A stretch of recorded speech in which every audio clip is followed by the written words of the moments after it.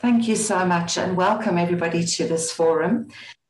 As many of you will know already, what we're asking today of our three excellent presenters, this question, what can we learn from histories of reproduction and care in the global south? And how do these sexual politics? Reproduction has for a very long time been a central tenet of feminist theory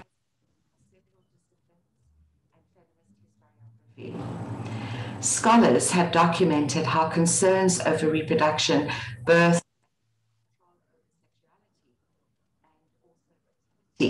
have lain at the very center of our investigations of queer, feminist, hetero.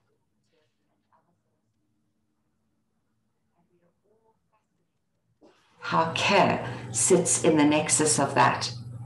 We are so fortunate to have here today three speakers who address this in their work. Deevia Bhana, Chair in South African Research and Gender, Childhood and Sexuality at UKZN. Natasha Erlank, a professor in the Department of the University of Johannesburg, whose work lies in the intersection of marriage, Christianity, Gender and Sexuality, and who is just completing a book manuscript on that subject. And Nicole Bourbonnais, an associate professor of international history and politics and co-director of the Gender Center at the Graduate Institute uh, of Development and International Studies in Geneva in Switzerland. She has been the recent author of Birth Control in the decolonizing Caribbean. It is my great pleasure to welcome those speakers in that order to address us for about 10 minutes each today.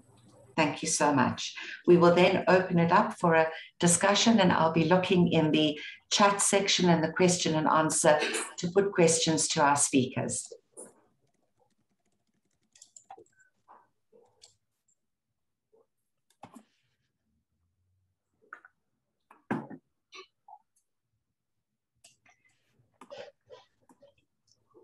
Deevia, I would like to welcome you to begin. Thank you so much, uh, and uh, thanks to the organizing committee at BITS for inviting me to this session. I'm really delighted uh, to meet uh, old friends and colleagues, um, but also to talk about an issue which has real uh, particular relevance in the last month or so, if not more than uh, two decades in, in, in the running in relation to teenage pregnancy um, but with a particular focus on um, teenage fathers.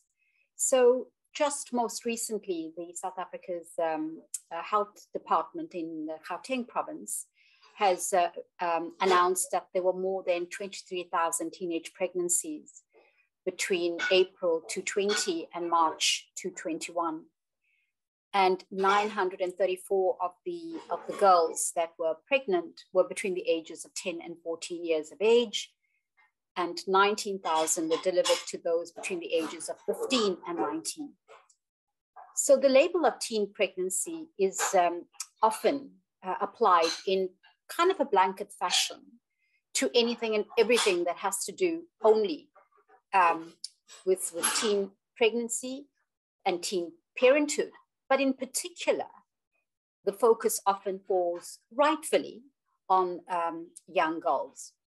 I want to change that around uh, in my 10 minute presentation by addressing um, work that we have been doing in the KwaZulu-Natal province of the country for the last decade or so on young fathers. And uh, I want to argue that um, uh, young fathers or teenage fathers are often missing, unacknowledged, and silenced in the literature on, on reproduction, on care, and, and, um, and the broader discussion around uh, teenage pregnancy. The, the fact that fathers matter is, is an obvious point. Uh, the, the State of the World's Fathers announced that. The 2012 white paper on families uh, makes this very clear, although the missing dimension on, on teenage fathers is very clear. So involved fathers um, the, the, debate is very, uh, there is actually no debate. Involved fathers are really important uh, for, um, for, for, for, in terms of heterosexual relations, for women and girls, uh, as well as children to, to fulfill their full potential. Um, involved fathers also make for happier, happier men. Involved fathers um, actually uh, promote um, uh, violence and caring capacities, which is indeed an important area of, um, of, of, teenage pregnancy in relation to care work. So there, so there's several other areas um, that uh, I could go into in terms of why father's involvement is really important. Um, but from our study, fathers, teenage fathers, do want to spend time with their children, notwithstanding the, the, the common assumption and the dominant uh, stereotype around their recklessness, roughness, as well as irresponsibility. Rather, in the last decade, we have conducted um, qualitative studies with teenage fathers in and around uh, the province and found, uh, found the following. And I want to begin really with, with um, the, the, the punchline.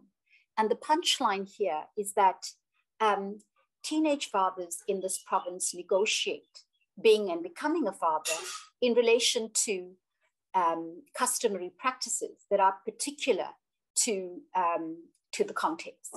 And these customary practices include inhlawulo, which is uh, damages, as well as um, um payment for uh, causing damage in relation to the pregnancy, in relation to uh, breaking virginity, um, as well as um, damages being uh, that are levied in relation to ilobolo.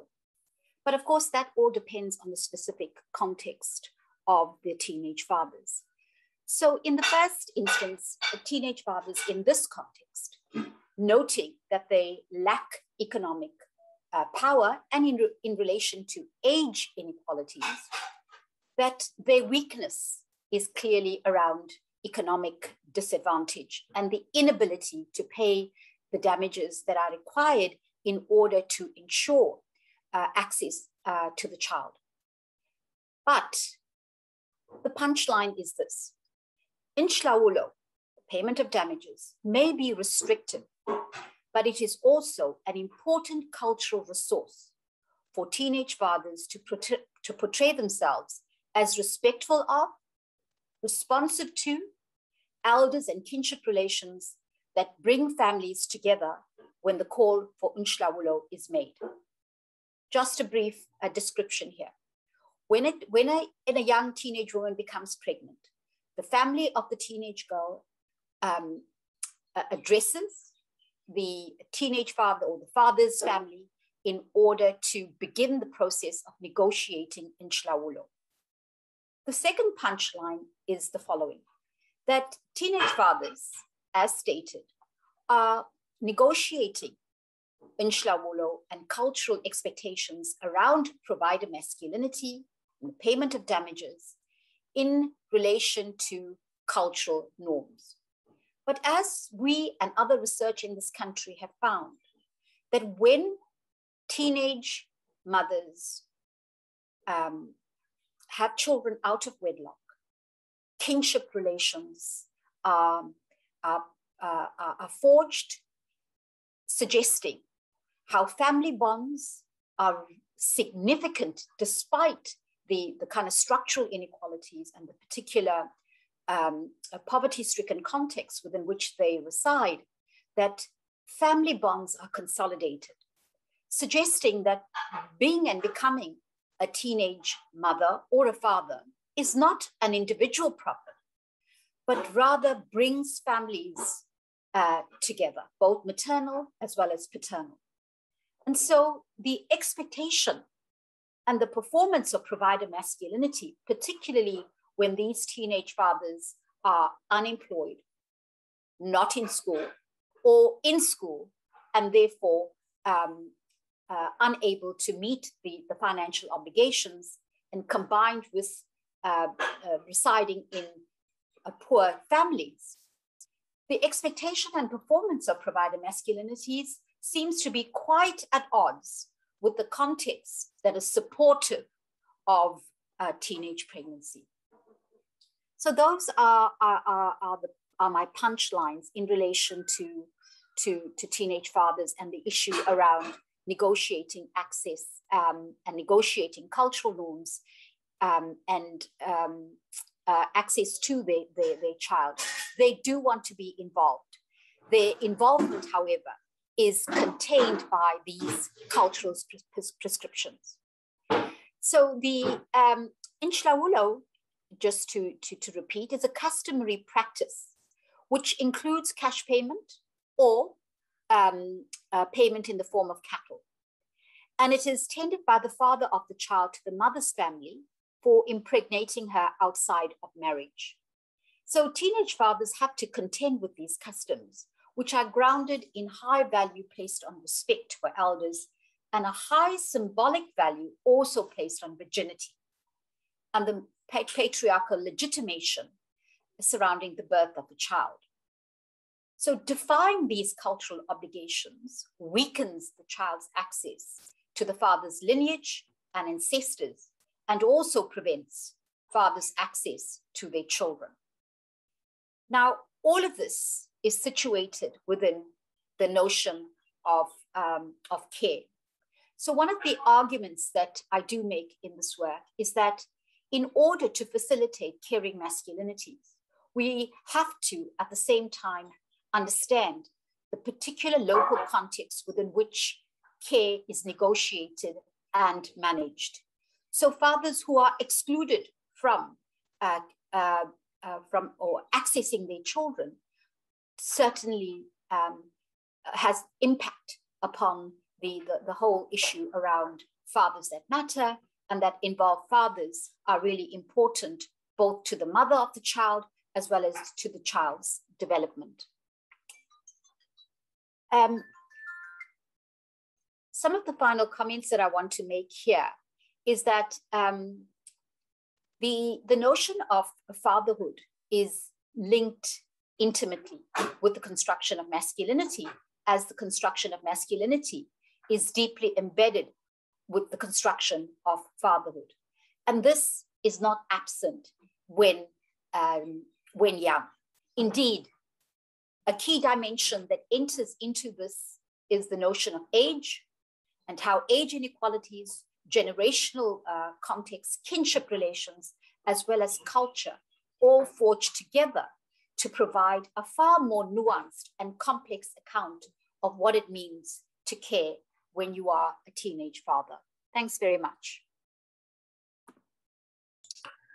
Thank you so much for that presentation. And now we would very much like to move straight over to Natasha's. And I'm saving up any possible questions for you, Deevia. Thank you very much for opening it. And Natasha, over to you now. Thanks. I'm just uh, preparing a screen to share for you. I have uh, precisely two slides, everyone, um, before you start to worry about um, whether you're going to be drowning in a PowerPoint. Uh, it's good to be here with you today and uh, thank you uh, to the Governing Intimacies Project, um, both for supporting the work that I've just finished um, and which is um, something that feeds directly into what Deevia has just been talking about. Uh, it's a book manuscript um, called um, The Convening of Black Intimacy in Early 20th Century South Africa. And it'll be due out next year sometime um, through Ohio university press. But today I'm speaking about uh, uh, my new project, which has to do with um, a history of uh, global, the, the kind of the global politics of contraception in relation to Africa. Um, uh, and this pa paper is part of a larger project in which I consider how to think about a history of reproductive health, birth control, and family planning across 20th century Africa in a way which reflects on the differences across the continent from countries in the South, which have some of the highest recorded uses, uh, highest recorded use of contraceptives across the continent. Um, so I'm talking about Southern Africa here. Um, to the Indian Ocean Islands, there's a really interesting history of um, uh, modern contraception in Mauritius, for instance, um, which reflect the same to the differences that exist between neighboring countries in East and West Africa. Uh, and here uh, you only have to look at the history of um, modern contraception in Ghana versus Nigeria um, to see how different uh, this can be. So, what do these histories say to global power inequalities and also to the continued and continuing salience of the relationship between power and sex? And I think um, Deevia was talking about this as well in all that she was talking about um, the, you know, the relative power of young fathers, for instance, to be able to make decisions about um, uh, the roles they play in children's lives set against uh, a backdrop of custom, for instance. So feminist scholarship has long recognized that all citizenship is sexual citizenship. And as Laura Briggs, Rayna Rapp, and others have noticed in a variation on this, all politics is ultimately reproductive politics, though what people might understand by the phrase reproductive politics varies greatly. Um, and that's, that's part of what we need to disentangle in uh, looking at 20th century and 21st century histories of contraception. For many feminist activists and academics, reproductive politics have, since the 1960s, centered on a woman's right to bodily integrity and choice in matters of reproduction. An inherently liberal view centered on the notion of individual rights. Um, and I think you can see from the slides uh, that I have, the slide I have on the screen, that a notion of individual rights in relation to contraception is just cut across at so many levels um, by um, the material. I'm talking literally about the material politics of the provision of reproduction, because reproduction does not take place um, uh, only in relation to the body of one individual. Um, so, so this liberal view um, has persisted and still persists to, to today, even despite the post-colonial and theoretical destabilization of the individual and Western subject in the 1990s, and critically also challenges from decolonial thinking uh, and some recent movements in relation, for instance, to um, Fees Must Fall and Me Too, both of which are actually global uh, movements. Uh, one, uh, a global movement um, uh, in its uh, iteration as Black Lives Matter, but these are only some of the views that exist currently in relation to reproductive politics. And in some senses, um, what both these views do is um, to disregard a larger community of thinking that exists in relation to the world of population demographics. Um, and especially a whole swathe of donor organizations, mostly located in the West, and, you know, uh, amongst all that's happened recently, one of the small things we can give thanks for is Biden's um, relaxing on the global gag rule. Um, but there, there, there, there is a whole world of public health policy out there that is directly associated with the politics of reproduction, but yet which often gets disregarded when people start to think about reproduction. Um, in Nigeria, for instance, pro-natalist thinking and resistance to contraception echo many of the arguments made about the imposition of Western ideals about family planning in the global South. But these roots have their own complex uh, history in independence era national politics. And that helps to explain some of the differences that exist, for instance, between Ghana and Nigeria. The reason why today Nigeria has one of the lowest rates of contraceptive use on the continent reflects more than a relatively straightforward case of resistance to colonial oppression, um, where not using contraceptives was equated with resistance to Western interference. And this is very much a language that you still see um, in Nigerian discussion about uh, family planning today. Um, uh, instead, if you really want to understand what was happening in Nigeria in the 1960s, you need to look at the complex uh, histories of ideas around uh, childbirth spacing. For instance, looking at someone like Caroline Bledsoe's work to understand um, the intricacies of what was going on there, as well as divisions between North Nigeria and South Nigeria and competition. I'm speaking very um, loosely here between Islam and uh, Christianity. So if we remain with a line of thinking that views reproductive health only in relation to family planning um, and only in relation to Western aid driven family planning, we miss the complexity of significant variation as well as the extent to which ideas around contraception and reproductive rights are related to larger issues. Now, the two, the slide that you see in front of you, I'm just going to speak to the two slides and then I'm done. Um, uh, gesture to some of what I'm thinking about. Both of them show, one is a much older poster, um, um, the one from Kenya, um, it's uh, from the early 1980s and it's uh, uh, talking about the way in which family planning policies are often linked explicitly to the idea that family planning is something that happens within heterosexual families.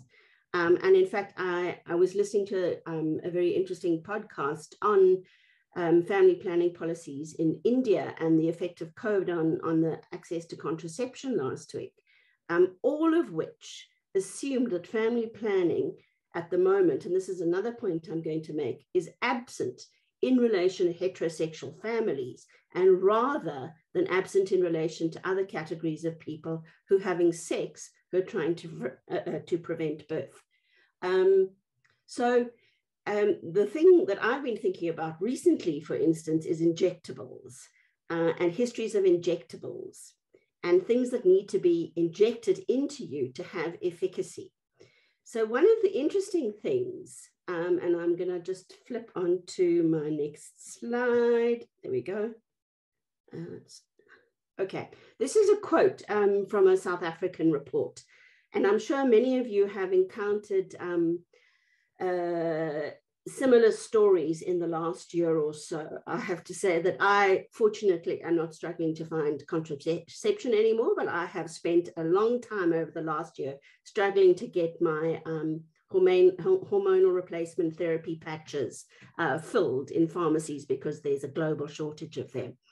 So at the moment, across the world, because of COVID, um, things like family planning services are under threat. They either are not available, they were particularly not available under hard lockdown, and the global supply and distribution of certain kinds of family planning are under threat for different reasons, one of which has to do with people's fear of injections. Now, this extends further into issues around public health, which have, for instance, to do with ideas about vaccination.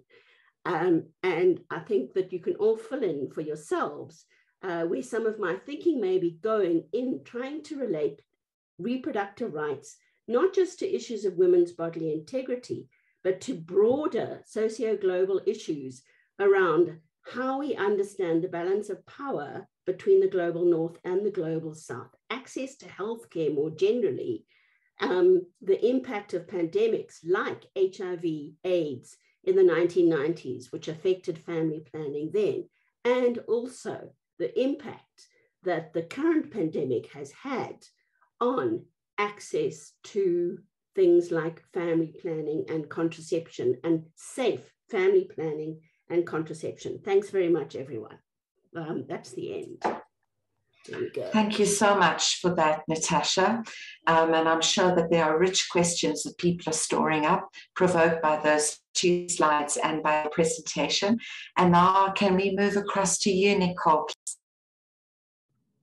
Sure. So thanks so much uh, again to both Kayo and, and Srila for the invitation and, and Catherine for the introduction. Uh, it's really interesting. Both of the both of the presentations were really interesting to listen to. Um, so my work as as kind of mentioned in the bio has shifted recently from looking specifically at the Caribbean context, uh, the English speaking Caribbean, Jamaica, Trinidad, Barbados, to looking more broadly at transnational movements for family planning. Uh, a lot of this will really flow from, from what Natasha was, was just saying. So I'm looking now more at the records of these international organizations that Natasha was just talking about. So in particular, the archives of the International Planned Parenthood Federation, the Population Council, the Pathfinder Fund, the United Nations, all these international actors that really become prominent in the global family planning movement in the mid 20th century onwards. And in particular, I've been looking within these records at the diaries, the correspondence, and the internal reports of field workers. So these are doctors, nurses, social workers, volunteers who essentially traveled around the world from the 1950s uh, to 1980s, trying to spread this concept of the small family as the ideal, uh, as well as access to contraceptives, including in the 50s uh, and early 60s, the diaphragm and different types of spermicidal foams and powders, uh, as well as from the 1960s onwards, the pill, the IUD, and, and later these injectables as well. And what I thought I would just talk about kind of briefly here before we move into discussion are the different narratives that I see around the work of these international organizations. So on the one hand, uh, of course, in the popular sphere, as, as promoted by the organizations themselves, we see this narrative of you know, kind of unbridled triumph. So the pioneering work of international activists who've contributed to the liberation of, of women from the burden of childbearing through access to modern contraceptives. And then on the other hand, we have, of course, these academic critiques that, that point to the colonial and racialized hierarchies of population and family planning movements, in particular the way they were influenced by eugenic ideas uh, and neo-Malthusian ideas about who should have children uh, and who should not, often kind of linking uncontrolled reproduction to threats to national development, to global security. Um, in the Cold War, this kind of idea that women having too many children in the global south would lead to conflict and therefore communism. So a kind of direct uh, political, as, as Natasha was saying, these kind of deep politics of reproduction. Uh, I too have found the work of, of uh, Faye Ginsburg, Rayna Rapp really helpful in this. Um, they have this concept of stratified reproduction, which refers to the power relations by which some categories of people are empowered to nurture and reproduce, while others are disempowered. And I think these historical narratives and these historical critiques help us to better understand these power relations uh, and the potential outcomes of labeling certain people's reproduction as threatening or, or unproductive or problematic. Uh, there are a plethora of historical examples of reproductive violence that have flowed from this panic to control population growth, uh, from the one child policy in China to mass sterilizations in India during the emergency period, uh, but also to the kind of everyday violence that occurs in doctors' offices, you know, when men and women are shamed for their reproductive choices or pushed to adopt one method over another based on a kind of external idea of what's best for them. Uh, but I also sometimes feel, feel concerned about the way that these critiques, this narrative of critique of, of family planning movements uh, is also sometimes used as, as Natasha was mentioning, as a kind of uh, maybe even a conservative way to dismiss uh, contemporary demands for access to reproductive health services. So this narrative of birth control and abortion as being forms of Western imperialism has, of course, uh, really existed very, since these movements started. So from the 1950s, 60s uh, onwards. And this, of course, draws on very real histories of abuse and, and violence, as well as the continued racialized undertones of contemporary concerns surrounding population growth uh, that we see today. But what I do think this narrative kind of misses is the much longer history and, and more alternative forms of grassroots activism in favor of birth control, family planning, reproductive rights, or some kind of version of that, that I would argue exists in pretty much every area of the world that um, the field workers that I've been looking at have where came across. So I'm talking here not about you know UN conferences on population or state family planning programs, but about Caribbean nurses who spontaneously started holding talks on sex education in the 1940s uh, in response to demands from mothers in their community. About doctors in Pakistan who provided birth control services out of their homes in the 1950s, long before the state became interested in population control. And also about, you know, Catholic nuns in Venezuela who quietly advised women on where they could go to get an IUD, even in the 1970s after the Pope issued uh, Humanae Vitae, which reaffirmed the church's opposition to artificial birth control are also these very interesting networks of men and women who have throughout history shared advice, shared resources with them, with each other, uh, creating networks that would sometimes allow them to help better navigate these state or international um, population programs or family planning programs.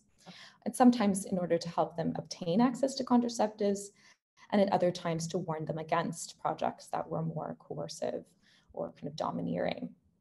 And these stories appeared in the local archives that I consulted for my book, book on the Caribbean, uh, but they're also in a lot of other local and national studies and everywhere in the diaries of the international field workers that I've been studying for my present project. So although many of these field workers were themselves American or European women who saw themselves as kind of prophets for the cause of family planning, uh, their archives often tell a somewhat different story of an extensive, if loosely connected, prior base of activism surrounding reproductive control. So just for an example to kind of get a scale of this, based on these records, I've so far identified over 1,000 local advocates from over 100 countries that I've been kind of actually tallying in a database uh, to think about this in, in something of a quantitative method um, uh, level as well. And in fact, uh, what's interesting is the, the diaries of these field workers, although they kind of go in with this idea of spreading the gospel of family planning, in fact, mostly what they do is identify people who are already interested and already working uh, in the field. And what they end up doing for the most part is just trying to get these actors to organize into a family planning association or some type of organization that would fit in with the norms required by Western donors. And I think we can definitely be critical of that process, you know, of the way that all these different kind of diverse forms of activism are pressured to fit into this one model of the Family Planning Association connected to the International Planned Parenthood Federation, following the same kind of rules and, and sort of in the end taking a model that may have worked in one context and trying to kind of push it uh, in another. But I do think that the idea that kind of birth control or efforts to mobilize around this altogether is, is Western really in the end kind of gives the West too much credit, uh, you know, for something that isn't their idea. And people everywhere throughout the 20th century have had their own reasons to be concerned about reproduction uh, and were already mobilizing to do something about it long before uh, states or international donors became involved. And these records also show that people came to this work for a much wider range of reasons beyond the eugenic or neo-Malthusian fears of population growth that dominated, say, in a UN conference. Uh, for many, it was part of a larger humanitarian or maternal health project. Uh, many of these actors described their work as simply a response to their lived realities. So their experience of being doctors or nurses working with women who uh, were suffering, you know, physical conditions due to repeated childbirth uh, or unwanted pregnancies, and some had direct experience themselves. Uh, many, interestingly, there's kind of this common dynamic among nurses, and family planning nurses who talk about their mothers and their mothers' experiences with uncontrolled reproduction as being their motivator. Now, of course, these narratives are not as you know benign or, or innocent as they may seem. Uh, as Avishai Margalit has put it, caring may easily play out at the expense of respect for the other person's autonomy. So even if these nurses and doctors came from an, uh, a goal of relieving suffering, they might privilege their own understanding of what would relieve that suffering over that of the, of the person they were engaging with. And so I'm really interested in these kind of more subtle, subtle dynamics, kind of beyond the explicitly liberating versions of birth control or the obviously coercive uh, but rather these kind of subtle uh, dimensions between doctors and nurses or between partners that could make something either more or less liberating. And so what I'm interested, uh, then I, I, think I'll just leave with a couple of questions that I'm interested in looking at rather than punchlines or, or arguments, because uh, I'm still kind of in the middle of it. Um, but I'm essentially interested in looking at this much wider diversity of forms that activism around birth control, family planning, reproduction, has taken. uh, what motivations and baggage these different projects have had, uh, what different visions of the ideal family have existed, and to what extent these were actually shared across borders, and how did these different projects intersect or clash with the ideas of states or kind of board directors of these international organizations and, and state population control programs. I'm also kind of interested to think about to what extent these earlier, more grassroots uh, forms of mobilization were either kind of captured by state and international donors or on, on in other cases serve as a kind of precursor to the reproductive rights or reproductive justice movements uh, that we saw organized in the 1990s onward. And I think I'll stop there for now, but I'm of course happy to answer any questions and, and look forward to hearing everyone's thoughts. Thank you so much. I think those are three very rich presentations that, uh, in a sense, go from the global to the local and back again in these cycles and iterations. What I propose to do is to put to you a couple of questions that have been in the Q&A and in the chat, and then look for hands as people sort of gather their thoughts. Um, I'd like to start actually with a question to Deevia. We have uh, two questions in the question and answer, but I'd like to also add one that I think um, perhaps starts to link the three papers. Thank you so much, says uh, one of our colleagues joining us, for this overview highlighting the presence of fathers and fathering children. The question is this Could you say a bit more about the non teenage fathers? and you know how you think about their inclusion and exclusion especially in relation to non-caring or caring and who are the people fathering children with teenage mothers uh, what are the power dimensions there, especially in relation to, to men that are not teenagers themselves? And then the second one digs into your uh, analysis of the realm of culture. What are customary and legal practices, norms, expectations of other racial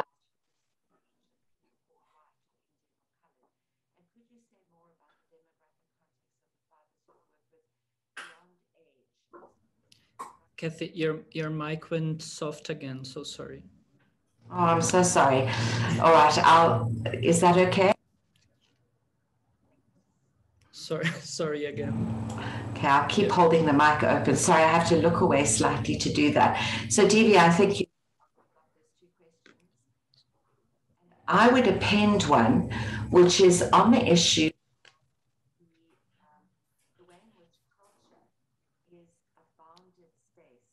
analysis.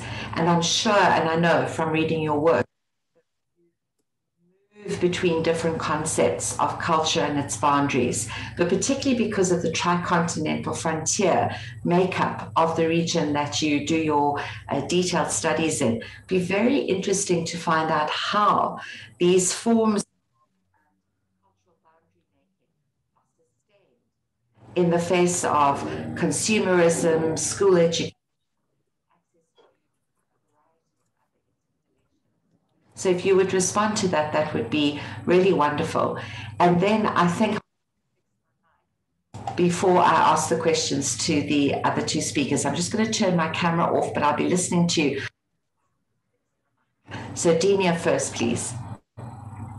Um, Kath, thanks so much. I um, I would need to come back to you because your mic went off, and we didn't uh, hear your your question.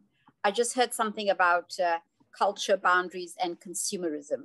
So let me go um, and answer almost immediately the question on non-teenage fathers. Um, and uh, this is um, the, the issue around father involvement uh, has been uh, an ongoing discussion in this country for the last 15 years or so.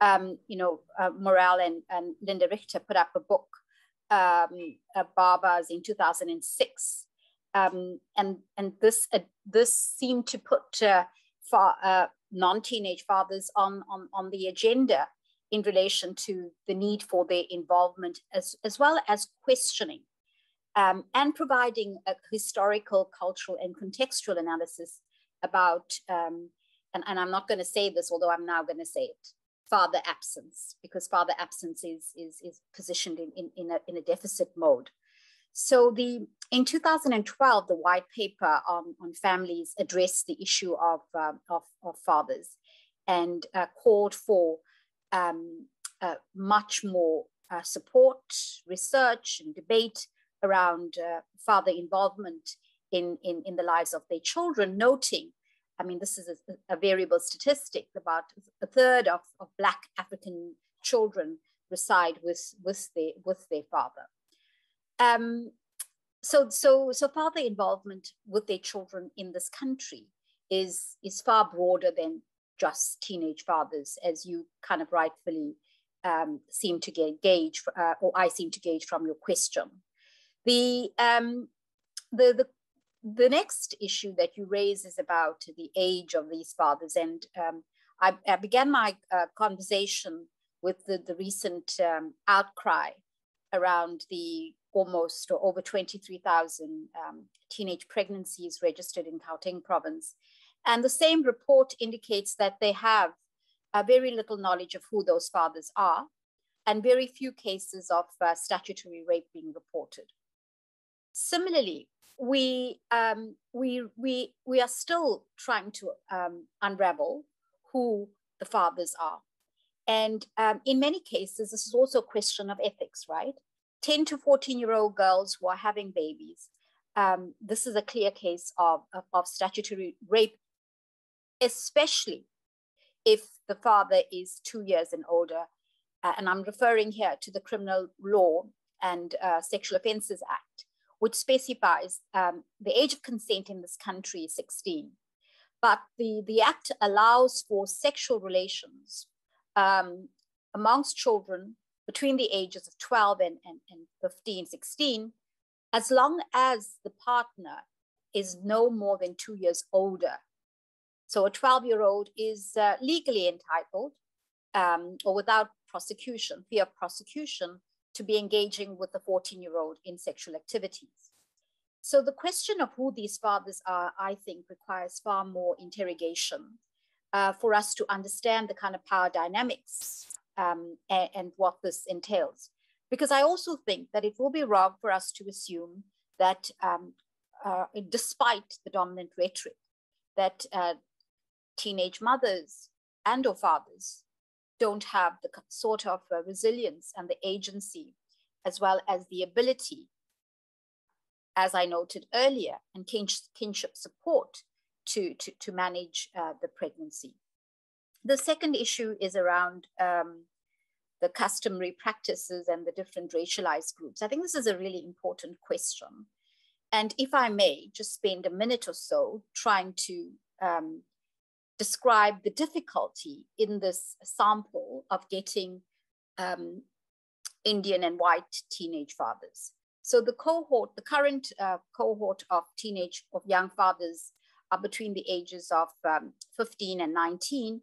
And uh, nine of them, 21 of them, nine of them are colored.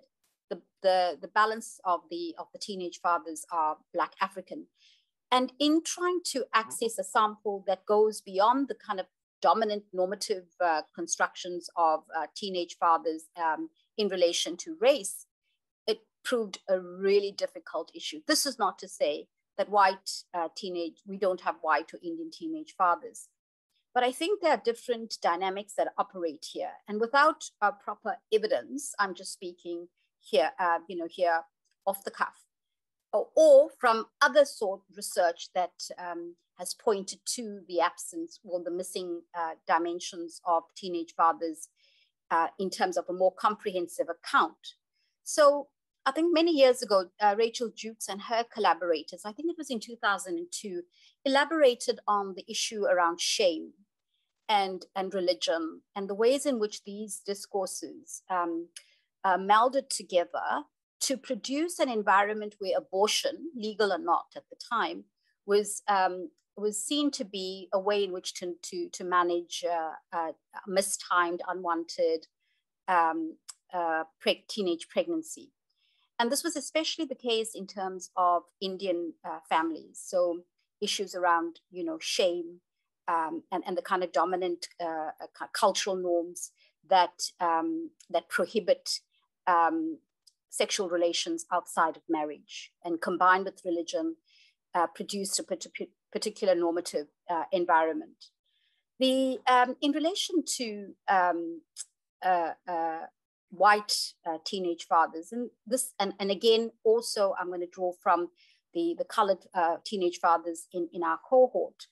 Um, this one of the enduring patterns, which has global and local um, manifestations, is around provider masculinity.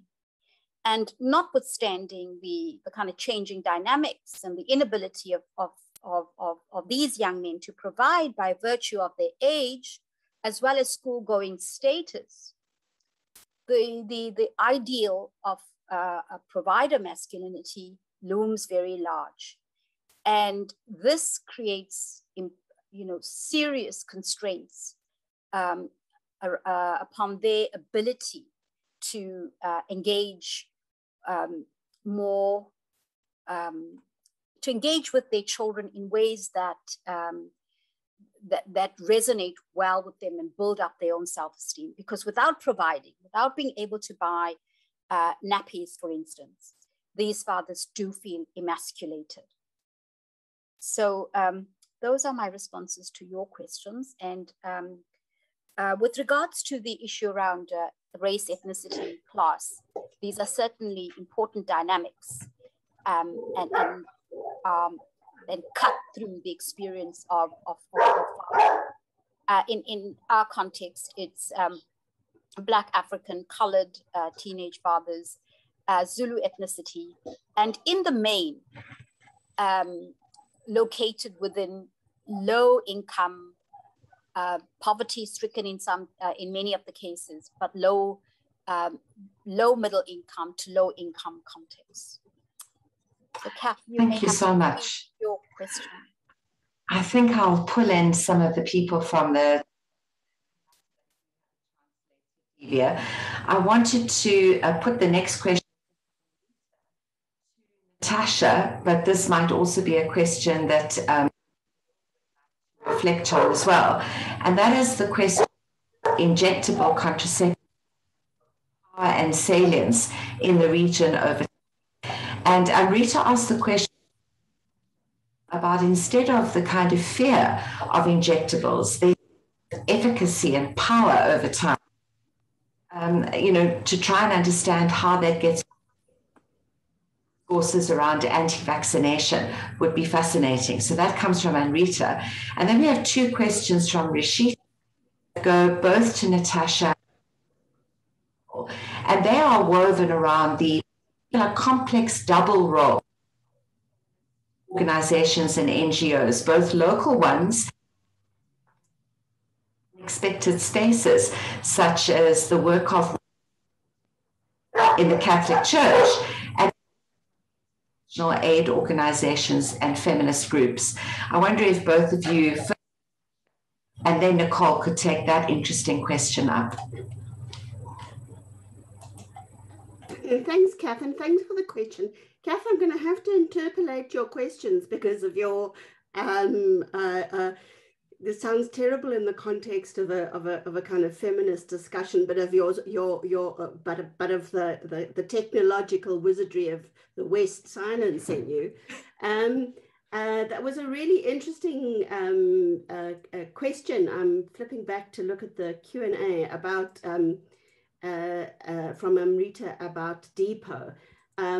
And the, the brief answer to that one is that um, you're quite right. There are there are many women um, uh, in probably in strangely enough in South Africa itself, which has the strongest history of birth control in the region, which is to say the most has been written about it, mostly by people writing about population control or demographers.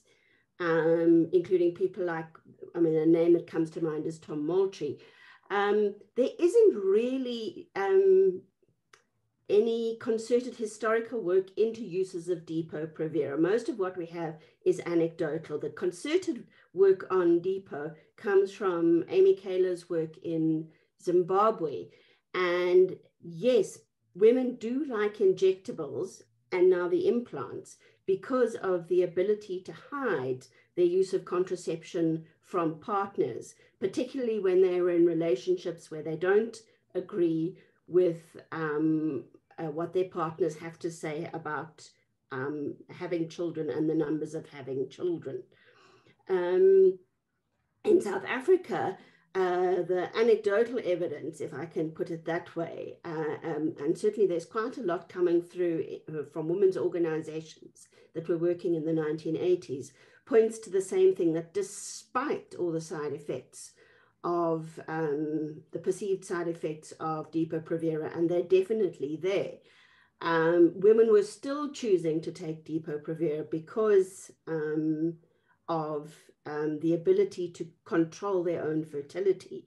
Um, uh, I see that um, Shireen Hassim uh, was on this call earlier. I'm not as sure she's still there, but Fatima Meer is one of the few people who's actually written about the way in which women in factory locations were forced to take by their employers Depo-Provera to control their fertility. Um, uh, and then I'm just flipping. There's a lot more I could say about Depo. Um, uh, but one of the interesting things about Depo, and I'm not quite sure how location specific this is, has to do with um, certain theories of purity and danger um, and certain um, anthropological ways of understanding how substances are transmitted into the body. Um, so, how people receive fluids and the degree to which um, the reception of fluids, and the most um, obvious example here, um, although it's on a slightly different trajectory, is semen, so, so unprotected sex, um, without a condom, I mean. Um, uh, uh, ideas about fluids and bodies. Um, and so injections have a particular history in programs of public health in South Africa that means that often people really, really, really don't like injections, although they are willing to put up with um, taking um, things like contraception or other forms of medicine as capsules or um, in other ways. Um, and I mean, one of the things that, that, that really needs to be looked at, and I'm so glad that Nicole was talking about this a bit, is also the use of IUDs and the provision of IUDs and, and, and the kind of um, pop, popularity is the incorrect word of um, older styles of non-hormonal contraception like IUDs versus um, styles of um, hormonal contraception.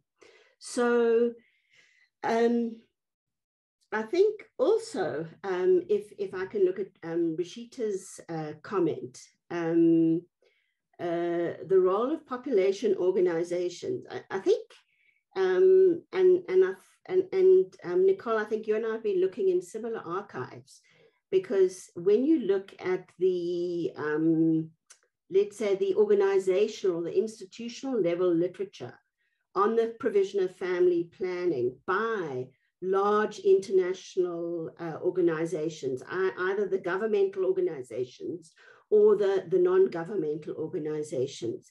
The levels of what's happening at an institutional level is not necessarily translating to what individual workers are doing when they are driving around in their vans um, in the middle of nowhere um, with supplies of um, various sorts of, of contraception.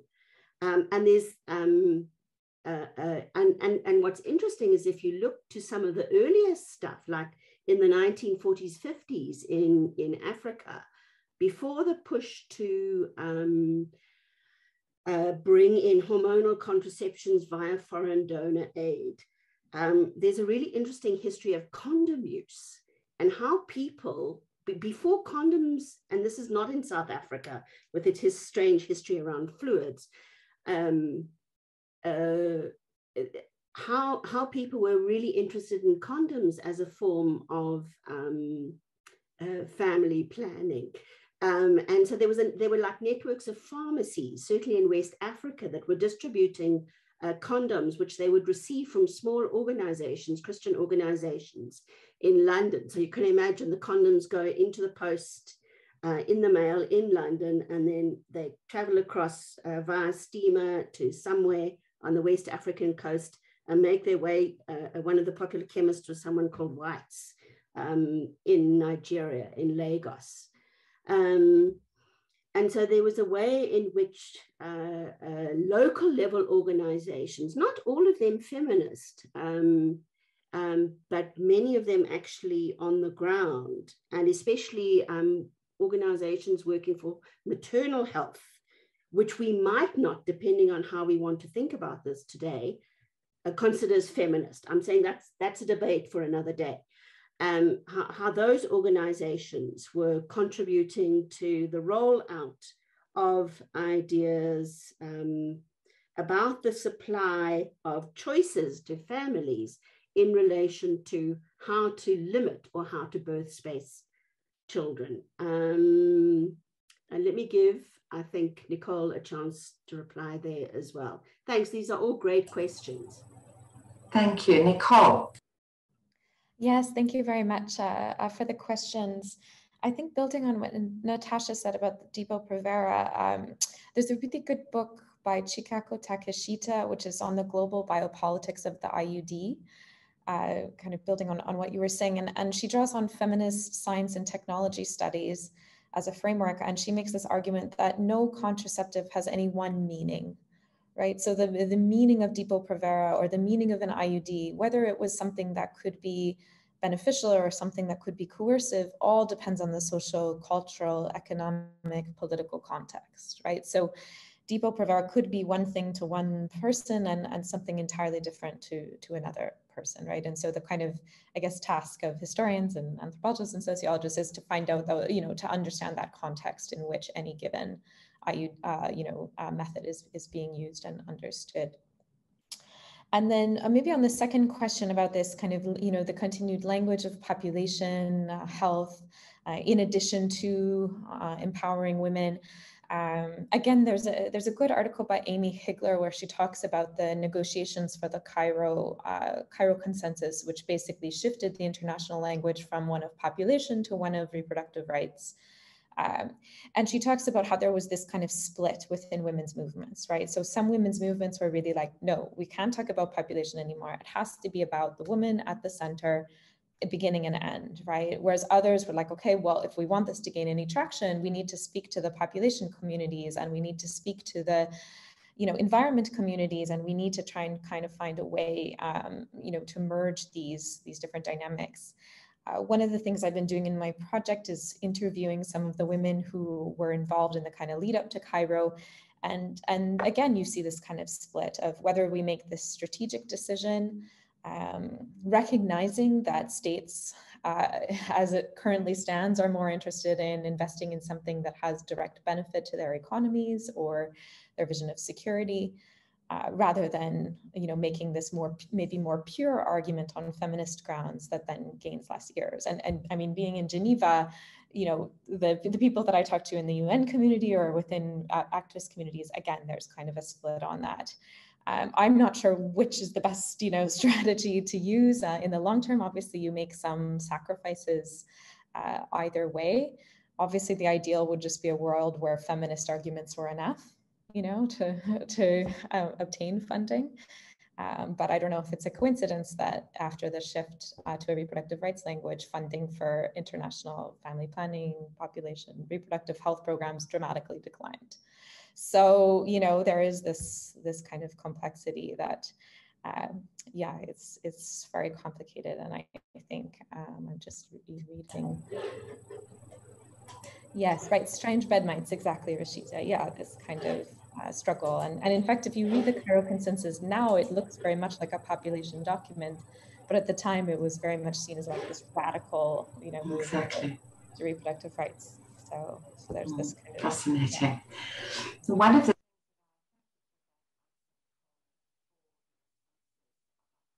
too, one of the things that I wanted to put to all of you was the question of joy paying attention. So, what role does uh, acts of um, and fertility control, how does pleasure intimacy work together? Technologies of preventing conception could include intentional conception uh, in the kind of project that um, that deals, or it could focus efforts at preventing conception. But I'm to see if the three intimacy and pleasure. Kathy, I'm so sorry to interrupt, but I'm not sure if the panel could hear your question because the mic was breaking. So may I suggest if you could type it down and I would read it out loud. And in the meantime, I can uh, ask them a couple of questions, if that is all right. Um, I do, again, thank you so much for this amazing panel. I think all presentations were so, so engaging. And really, as Kathy mentions, there is, there is a really interesting combination of local, regional, continental, and transnational linking in. And I wanted to push Natasha a little further when you say that a lot of this literature is about actually disentangling what reproduction means. And I was very interested in this in this idea. And I wonder if in your research you saw debates revolving reproduction that are really not actually about the biology of reproduction or the medical aspects of reproduction. And I will be very interested to hearing more about how this kind of medical debates tie into debates about, for instance, um, broader debates on motherhood, on uh, infant education, in the infant care, and, and things like that. So if that is something that you have seen. And to Nicole, again, this is such, such a fascinating case. And it seems to me that, that you speak a lot about these archives and about this figure, this kind of emerging figure of the field worker, the international civil servant, the development worker and, and all that. And I wonder if you could tell us a bit more about this figure. Who were these people actually? And I'll be very interested in hearing if this is a community that has changed over time and in what terms. I I know from my work, uh, my own work on the UNESCO archives, that in the 50s, for instance, kind of 85% of the personnel were from England and France. And over time, there was a very big debate within the organization to quote unquote decolonize the stuff, hiring more people from the global south, hiring more, more people with different kinds of exposures and experiences. And I wonder if that's something that you have witnessed as well in these organizations you're looking at. So, and then for Deevia, quite quickly, you mentioned, uh, again, fascinating presentation. And you mentioned the issue of generation, the generational context. And I, I, and I wanted you to speak a little bit more about that in the sense that perhaps generation can gives us can give us a kind of insight into historical change. And I wonder if that is something that you are that you are thinking through. I, I would love to hear about that. Thank you so much. So I'll give you uh, guys um, uh, uh, a few minutes to respond and then we'll go back to Kathy's uh, comment. Thank you so much. Perhaps we, we uh, Natasha, do you want to start? Thanks. Um, that's a that's a great question, um, and I'm trying to remember exactly what I meant by that point as well. Um, so um, often, what people understand well, all of this is obviously historicized. So if I'm looking, let's say, um, across mostly but not entirely sub-Saharan Africa, because there's really interesting stuff that was happening in, in for instance, in, in Algeria um, and Egypt, um, uh, then what becomes clear is that depending on sort of when you're looking um, in a period, uh, uh, uh, uh um, when you're looking in time, um, determines um, the way in which ideas about um, uh, reproduction are handled. and so sometimes, I mean, one of so one of one of the overarching things, obviously, is that when people talk about reproduction, what they're talking about is, is not only biological reproduction, but they, they're talking about the reproduction of um, heterosexual cultures in the sense that that that, that Berlant and Warner use the term. Um, and so often a lot of uh, what's directed at reproduction is directed at um, um, reproducing a certain kind of family. Uh, and then if you had to look at a hierarchy of um, uh, needs within the reproduction of that family, um, the least unproblematic need would be maternal health, maternal and, and infant health. Um, and this is why, of course, so many organizations um, fed uh, uh, birth control um, assistance into um, local level scenarios across Africa via maternal and uh, health and infant mortality, um, uh, which is a much broader category, obviously, than, than, than, than just um, birth control or, or family planning. Um, there, there, there are points as well um, at which reproduction is heavily tied into and for those of you who know um, uh, his work, this is obviously something that Matthew Connelly writes about, uh, where reproduction is tied into sustainability, where what people uh, mean is uh, reproduction in the context of a sustainable planet. And that links back to some of the questions that were, were asked earlier. So it, it, it's a kind of moving target. Um, and quite often, um, because it's so lost, because individual babies, babies that are born um, either from cesarean sections or out of vaginas, um, uh, are, are, are, so bodily, they get lost in all of the, um, or babies that don't get born, um, they get lost um, in all the detail that surrounds them about, you know, funding organizations trying to motivate um, for uh, sex education um, for schoolgirls as opposed just to married women. Um, and then briefly, there's a segue here into what Catherine was asking about. Catherine, no one, almost no one in this whole discussion who's talking about supplying um, family planning ever talks about people having fun when they're having sex. It just, it just doesn't happen. I mean, I'm, it, it certainly was happening um, and there's some really interesting stuff about this, um, more, a more contemporary look at this in some of Denaima Potts's really recent work. Um, but you know, you never see the word orgasm mentioned anywhere. Um, so yeah, I think that's enough from me for the moment.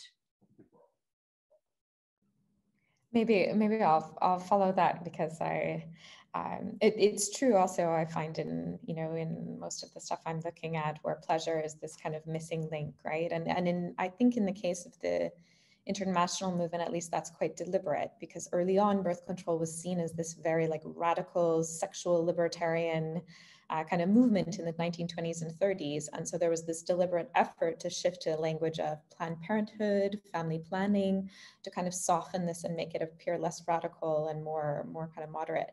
But you do get pleasure coming up from the women themselves uh, in some of the, the records. So for example, uh, there's this great anecdote from a social worker in Bermuda where she talks about she was, you know, she was uh, telling women about birth control and, and all this kind of thing. And she said, she said to them, you know, just for an hour's pleasure, look at how much trouble it creates that you have all these children to look after. And then one of the women raised her hands and said, an hour, how do you make it last that long? The pleasure, you know, how do you make the pleasure last that long? And so, you know, I think, um, you know, and, and some women kind of are explicit in letters, for example, written to birth control clinics around the world, where they'll say, like, we're a young couple, we want to be able to enjoy our married life. Um, how can we get access to methods? So pleasure is there, even if it's it's not being kind of explicitly talked about. Um, Kyle, to your question about field workers, it varies over time and also with organizations. So for example, the International Planned Parenthood Federation uh, is a federation. So some of the, the different kind of officers are from different areas of the world. Um, most of the early field workers are European and American women, uh, usually just volunteers, kind of women who have the means to, you know, go on trips and, and travel around the world kind of promoting this cause um, but who often come from kind of maternal health backgrounds or, or something like that. Some feminist and some not, kind of coming back to Natasha's point, you know, uh, some more explicit, some, some more just kind of um, having a more kind of conservative maternalist perspective. Uh, in the population council, this becomes very heavily dominated by men. So I am looking at the records of one female doctor that are really interesting and her kind of experience within that.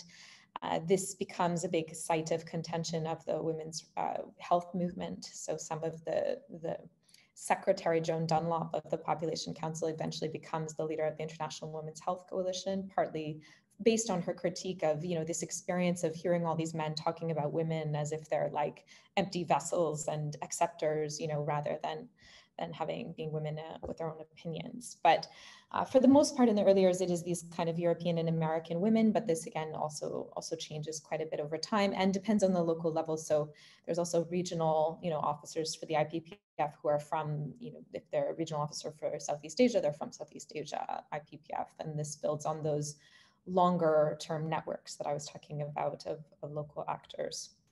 I'll just make one quick point about the question uh, about uh, the the contraceptives kind of being provided, you know, products that are, are from the West and, and kind of reliant on Western companies uh, for this. And indeed, this is one of the big problems with a lot of the kind of more reliable methods or, um, um, you know, more hormonal methods that are developed in the 1960s. Uh, the pill requires taking a pill every day. That's a very intense supply chain to maintain uh, and becomes a huge problem in a lot of places. The IUD, okay, you insert it and then you can leave it in for several years, but most of the IUDs from the late 50s, early 60s were a total disaster. Women had tons of side effects from them.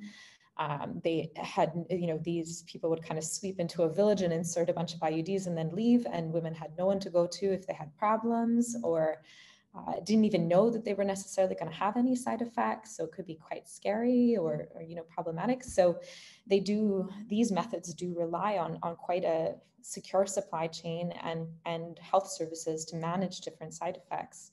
Uh, so there was definitely a push even from early on to go to more simple kind of straightforward methods. I mean the condom being kind of like the dream of contraceptions in that it's it's cheap it's easily accessible but then you have to trust men, which most family planning workers didn't, right? They saw women as the only responsible contraceptive users, which maybe comes back uh, to Deevia's point about our ideas about masculinity and how those influenced really until the AIDS crisis made it impossible to avoid uh, condoms, influenced kind of what methods were, were put forward.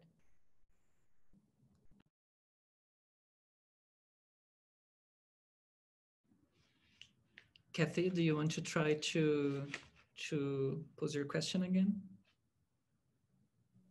So the question around generation, oh. generational inequalities and what this does. I mean, if I if I have to look at um, the uh, the production of uh, young fathers as an assemblage, uh, a masculinity assemblage, then what's happening here is that certain um, there are certain um, thoughts, ideas, feelings, uh, gendered discourses that are being ignited that will suggest to me a challenge to gener- intergenerational relations and inequalities, but also uh, a reaffirming of them. So, how, how does that happen?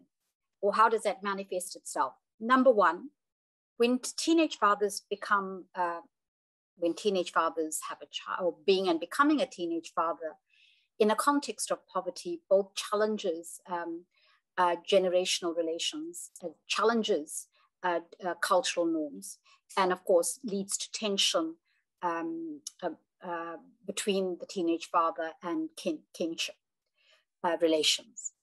But at the same time, um, these also allow for different ways of relating them to the, the, the, the teenage father once the child is born, kinship and uh, family bonds are, are reignited, creating new possibilities. So the so the so the, so the kind of constraints and the restrictions that were there are now not they, suddenly dissipate. So forming new sorts of relations. So my argument here is that um, intergenerational relations are both challenged in terms of teenagers, teenage fathers having a child out of wedlock, when poor, out of school, or um, at a young age. But at the same time, by um, in, in terms of reference to the kind of dominant cultural norms, respect for, as well as obedience to uh, the, the norms in relation to payment of damages, it sort of resuscitates those um, uh, power inequalities. So it's quite a complex matter. And for me, it's more uh, a sort of push and a pull all the time.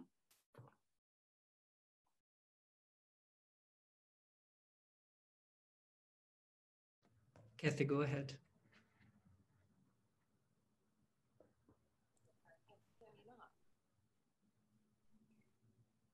Speak, Kath.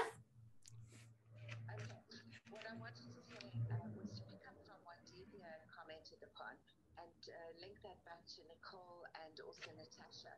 One of the most striking things I feel about the region of KwaZulu-Natal, where you've done so much of your excellent research and your publications that emanated from there, is that there is this uh, complex, I would call it, system or body of knowledge around sexuality, particularly fraught amongst younger people, that doesn't seem to be um, open to shift or change when so much else is shifting around young people. So certain kinds of scripts seem to remain and get validated and get accentuated and remade despite enormous flux. One example would be the high saturation of antiretroviral treatment and other kinds of pharmacological intervention, literally penetrations through the skin in that same region. In that area of the country, women for five generations have been involved in some way in the circuits of uh, hormonal contraceptives, particularly Depo. And second of all, there's a very high monthly or daily use of tuberculosis prevention or treatment, uh, pre, uh, pre-exposure prophylaxis, and then particularly ARVs. So given that these very complex systems of interacting with biomedicine, with donor communities, with religious bodies, with schools, with other institutions, has been part of the world of the people that you are studying. How fascinating it is that condoms are almost absent as an area of care in sexual relations, especially since they are available widely and not costly. In other words, that you can also access condoms for free.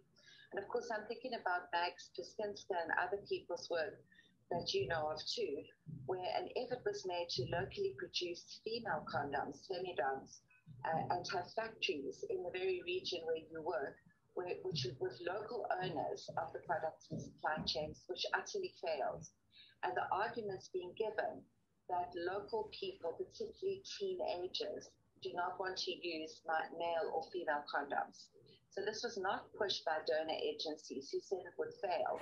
It was an effort by local health linked, human rights linked entities with a lot of local stakeholders, and it failed miserably.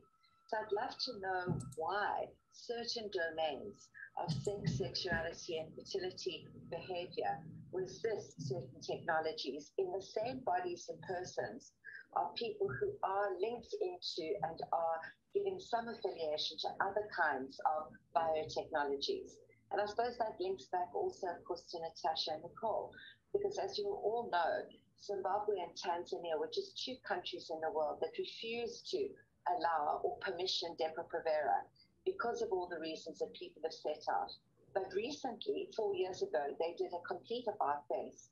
And now Depo-Provera has been rolled out by governments in both countries with their own supply chains, with community health workers uh, mobilizing the technology, uh, not nurses, not doctors, and not foreign donors, and paid for by the health budgets of both of those countries fragmented as they are. And I hear that Rwanda is about to come on board as well. So I find that really fascinating, and that's a huge shift in the last four years. So those are just two questions, and that was what I was trying to explain a bit earlier, uh, Deevia. So thanks for your patience, and Natasha for your phone technology. Thank you so much, Kathy. Uh, I'll ask the speakers to respond uh, briefly if you can, um, and then we'll close the session. Thank you so much. Deevia, do you want to go first?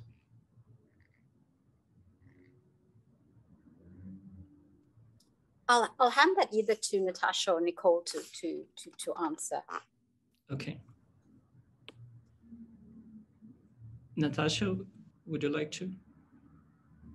Um, just to say uh, thank you everyone um, for a, a, really stimulating um, discussion. I saw just, um, uh, if I can reply to Justin briefly, um, if he's uh, still there, uh, your first question, the answer is complicated. It's both yes and no. Um, one of the things we haven't really talked about today are tradition, so-called traditional methods of, of um, birth control, for instance, um, uh, which are uh, one of which, of course, is is, is abortion, um, because we may think of it in terms of, of, of, current debates around, you know, access to choice, but it has always been a, a, a, a method of regulating um, uh, the number of children that people have. Um, you know, likewise, things like infanticide and those things um, um, still continue uh, in many places where there is lack of access. Lack of access. What's that? Lack of access. Sorry, to hormonal contraceptives. Um, and the other point that I wanted to make is that um, the other thing that you could probably where, where you can see the level of control better is in um, the supply, not so, not so much the international supply of hormonal contraceptives, but what's available. So whether it's Depo, whether it's Implanon, uh, whether you're offering some of the older um, um, tricyclic uh, um, birth control pills. So, so, so often it's a question of, of like um, what's available to be distributed. So once you go to the clinic, you don't have a choice about what you get at the, at, at the point of contact at the clinic. Um, but it's a, I think it, it's a really important question. Um, and just, just I have to say this. Sorry, the one thing I meant to say earlier is that um, in most places in the world, in a lot of places in the world, you can you can um, date what they call um, fertility transitions, transitions from higher rates of birth to lower rates of birth, to well before the introduction of effective forms of contraception. So there's a whole nother nexus of stuff that needs to be teased out around of demographic um, transitions. But this was such a pleasure for me. Thank you all for your wonderful questions. Um, and I'm just so inspired to carry on with what I'm doing. And I'm sorry I talked too much. Thank you very much. Nicole, any final thoughts? Sure. I mean, maybe just to Catherine's last point about about the kind of changing mania of Depo-Provera. Again, I mean, also part of the the kind of heavy critique of Depo-Provera was linked to the particular historical context where it was uh, shipped out and used in other countries. It was made by an American company, shipped out to other countries and used there before it was actually approved in the U.S. So that was part of the reason why Depo-Provera was so controversial because it seemed like this very clear case of you know using something elsewhere that wasn't deemed safe at home. It subsequently was was um, approved in the U.S. and many of the safety concerns were were kind of resolved. So partly that might be why it, it can have this kind of rebirth now in a in a different way, although there are still problems. But um, and maybe just one last point to to what Natasha just said about the fertility transitions, which of course is really true that you don't need these extremely, you know, effective 99.9% effective methods to have a population level um, fertility transition. Um, a, a, lot of, uh, for example, one of the most widely spread methods beyond abortion is withdrawal, which of course is not 100% effective, but is, is enough to create spacing that would you would see a population level. So there's kind of a difference between like, what is contraception for? Is it for, you know, the certainty that's required, you know, for you to make kind of other decisions in your life? Is it about population level change? Um, yeah, it, it's it, it kind of comes to, down to the core of what we want from contraception and and and how it's an individual and a population level issue. And also thank you very much uh, to, to everyone for your really interesting questions and, and uh, to my fellow panelists as well. Thank you, Nicole. Deevia, any final thoughts? So I just want to say that Catherine's point about pleasure, um, if I can just hook on to that, really remains uh, vital in terms of how we confront the issue and uh, move forward in our research um, and interventions in terms of what young people want, what they do, um, and then how pleasure should feature so strongly in, in all facets of or all stages of life. Uh, even at young age, the fact that 10 to 14 year olds have had babies uh, suggests to me more than the kind of power dynamics. Uh, I mean, it certainly is a case that, that, that, that, that is serious.